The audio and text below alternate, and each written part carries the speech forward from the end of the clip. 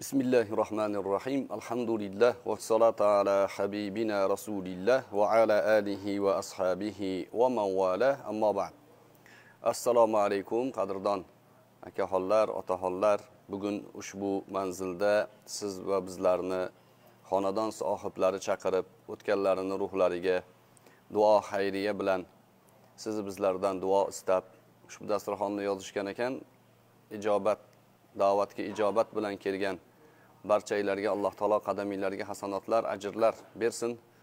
E, barchalarimizdan duo umidida o'tganlarni alloh taolo rahmatiga olsin. Xosatan xonadondan marhum bo'lgan sherzod birodarimizni alloh taolo rahmatiga olgan bo'lsin. Xonadon ahillarini haq subhanahu va taolo o'ylagan maqsadlariga dunyo va oxiratda alloh rozi bo'ladigan ishlariga o'zi muyassar muvaffaq qilsin. Har bir majlisni o'zini haqqi bor. O'sha haqni ado qilib qo'yishlik biz musulmonlarni vazifamiz burchimiz. Yemoq ichmoqdan tashqari ruhiy ma'noda ham oziqa olish hayotimizga tegishli bo'lgan masalalarni o'rtoqlashish. Loyiq bo'lmasakda bizga so'z haqqini bergan ustozlarimiz birodarlarimiz otaxonlarimizga alohida tashakkur. Hammamizga tegishli avvalo o'zimga tegishli bo'lgan nasihatlarni o'rtada o'rtoqlashsak inshaalloh dunyoda ozgina fursat o'zi. Yashagan umrimizga bir nazar solsak e, sekund o'tgani yo'q o'tib ketgan umrimizga. Bu yog'iga ham biz bilmaymiz qancha qoldi. Tez keladi. Alloh taolo mana shu umrimizni barakotli bo'lishligida o'zi yordamchi bo'lsin. Qur'oni karimda alloh subhanahu va taolo bir necha joylarda vaqt bilan qasam ichgan. Ba'zi suralarni boshida val asr degan. Asr o'zi bir ma'noda yuz yilga teng e, umrga aytiladi. Bir asr deymiz biz o'zimizga ham tilimizga kirib ketgan. Alloh taolo asrga qasam ichyapti. Alloh subhanahu va taolodan boshqa ya'ni biz bandalar qasam ichmoqchi bo'lsak avvalo qasamdan ehtiyot bo'lamiz. Mabodo zarurat bo'lib qolsa ollohni nomi bilangina qasam ichamiz. Buni payg'ambar alayhissalotu vassalom buyurganlar. Allohga qasamki deb aytadi. Odam musulmon odam qasamni ollohni nomi bilan ichadi. Lekin qur'oni karimda alloh taolo o'zi qasamni xohlagan narsasi bilan ichgan. Bittasi shu val asr. Vaqtga ya'ni bir asrga qasam deyapti. Alloh taolo qasam bilan boshlagan jumlalarni o'sha jumlalardagi ma'noning ahamiyatiga urg'u beradi. Bir asr nima degani desa bir asr judayam ahamiyatli narsa. Inson umri bir asrga yetib yetmaydi. Ellikdan oshgan odam bir asr yashayotgan bo'ladi o'zi. Demak bir insonni umri bilan qasam ichyapti alloh taolo. Va qasamni ortidan insonga aloqador mavzularni bayon qilyapti ko'zimizni ochishimizni aytyapti. Val asr asrga qasam yuz yillikka qasam innal insana lafi xusr deyapti. Albatta inson yutqizuqda albatta inson yutqizadi. Dunyodagi hamma jabhani ko'ring insonni har kungi qadami bir kun kelib yutqizishlikka qarab ketadi inqirozga qarab ketadi. Dunyoni podshosi bo'lmaysizmi? Bir kun azroil alayhissalom kelib tomog'imizdan ushlaganda podsholik ham foyda bermaydi. Yutqizamiz.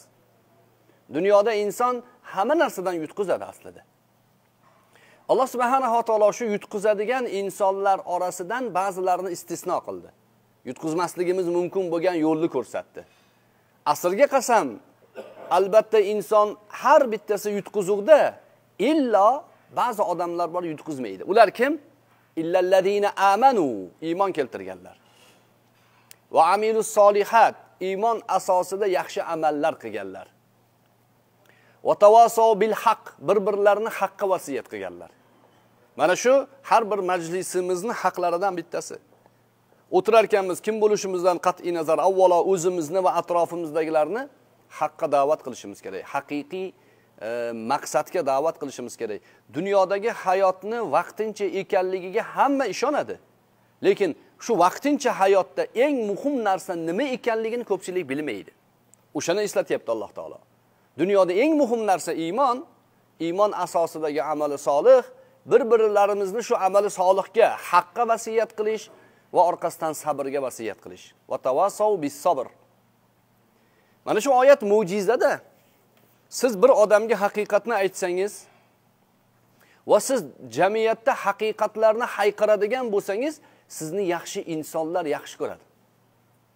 Samimiy insonlar qalbida iymoni bor odamlar vijdonli odamlar sizni hurmat qiladi. Chandiki siz bilan ya'ni ko'rishmagan bo'lsada siz haqingizda yaxshi mulohazada bo'ladi. Nimaga? Yaxshi gapni yaxshi odam qabul qiladi. Yer unumdor bo'lsa nima eksangiz o'sadi u yerda ammo siz haqni vasiyat qilar ekansiz o'y yolg'on gapirmanglar. O'y birovni haqqini yemaslik kerak. O allohga ibodat qilish kerak desangiz sizni kim yomon ko'radi? Yomon odamlar yomon ko'radi. Yomon odamlarni qo'lidan hamma narsa keladi. Ollohdan qo'rqmagandan qo'rq degan o'zbekcha maqol bor. Nimaga? Ollohdan qo'rqmaganni iymoni bo'lmaydi. Iymoni bo'lmagan odam hamma yomonlikka tayyor turadi.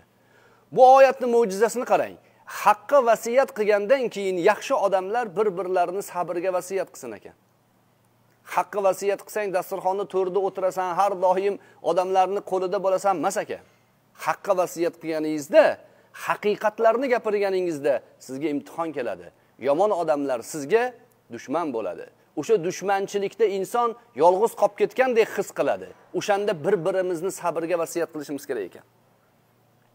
Oyatni inson to'qib oladigan jumla emasligiga dalil bu. Haqqa vasiyat qilganingizdan keyin dushmaningiz nomard odamlar bo'ladi. Siz sabr bilan bu haqqa vasiyat qilasiz. Shuning uchun najot topganlar kim? Iymon keltirgan yaxshi amallar qilgan yaxshi amallarni o'z ustida tajriba qilib boshqalarga buni vasiyat qilgan va bu vasiyatning oqibatida yomonlarning imtihonidan sabr qilgan odamlar najot topadi. Qarang bir asrga qasamni orqasida qancha gap bor? O'zi uch dona oyat shu oyat. Sura uch dona oyat asr surasi. Imom shofiy aytganlar insoniyat hidoyat topishligi uchun butun boshli qur'onni o'rniga mana shu uch oyat asr surasi nozil bo'lganda edi kifoya qilardi deganlar. To'g'ri yo'lni topishimizga shu sura kifoya ekan aslida. Qolganini alloh taolo fazilat qilib berdi degan ma'noda aytganlar. Boshqa suralarda val fajr deb qasam ichadi alloh taolo. Fajrga qasam. Fajr bomdod. Nimaga bomdodga qasam ichyapti desa inson hayotini e, boshlang'ich qismi u. Doim uyqudan turganimizda bomdod bilan hayot boshlaymiz. Ya'ni vaqtga qasam ichyapti. Vaqtga. Vashamsi va duhaha yoki va duha. Choshgohga qasam. Bomdoddan keyin choshgohga qasam ichyapti alloh taolo. Quyosh bir nayza bo'yi ko'tarilgan vaqtga qasam. Vallayli ida yag'sha kechaga qasam. Bu qasamlarni hammasi bizga nimani bildirish kerak bu qasamlar nimani ifoda qiladi desa vaqtning o'ta ahamiyatli ekanligini ifoda qiladi. O'ta muhim.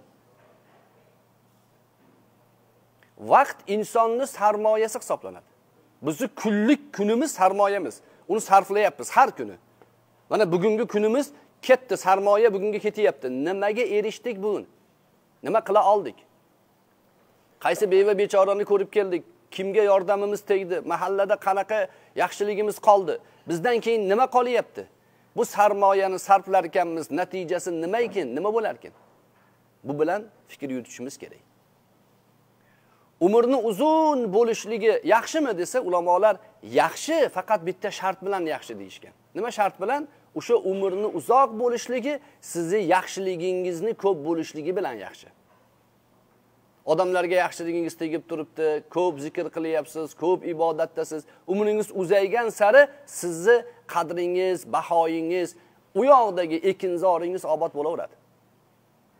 Lekin umr uzun bo'lsin ko'proq yeb olay ko'proq maishat qilib olay desa bu yaxshi emas. Nimaga? Inson hayotidagi inson sarmoyasidagi eng qadrli narsa insonning insoniy hayoti bilan o'lchanadi. Boshqa tilaklar boshqa niyatlar boshqa maxluqlarda ham bor. Ular ham uy joy solyapti ular ham farzand bola chaqa qoldiryapti ular ham maishatini qilyapti dunyodan o'tyapti. Bizni dunyo hayotidagi eng katta sarmoyamiz alloh subhanahu va taoloni roziligiga erishish. Payg'ambarimiz sollallohu alayhi vasallamning umrlarini qur'oni karimda alloh taolo qasam ichgan la umrik degan. Sizni umringizga qasam degan. Rasulullohni umrlariga qasam ichgan oyatda.